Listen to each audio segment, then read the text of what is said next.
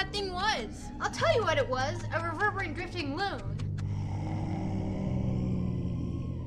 Ah! Quick, into the haunted house. Why not the serial killer's trophy wall while we're at it? No time.